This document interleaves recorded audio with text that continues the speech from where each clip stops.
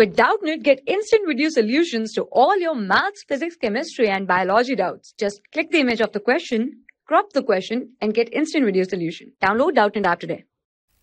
In figure, there are two sectors which are concentric and it has radius equals to 7 centimeter and 3.5 centimeter. We need to find the area of the shaded region that is A, C, D, B. We need to find this area okay. So we have here theta is equals to 30 degree. So basically this shaded area is equals to area of this bigger circle my area of this bigger sector minus area of the smaller sector. So area shaded is equals to area of outer sector minus area of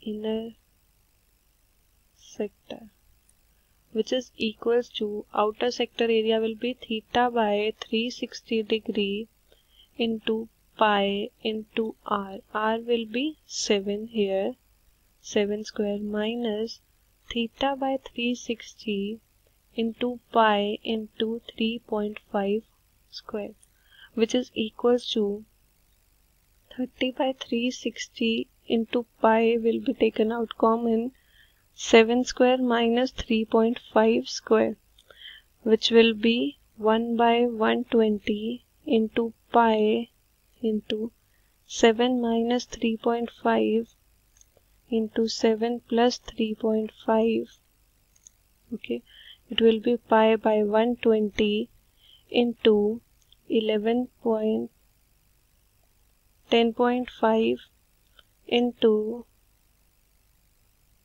3.5 which will be equal to 9.625 centimeter square as a final answer.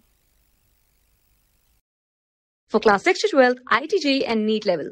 Trusted by more than 5 crore students. Download Doubtnut app today.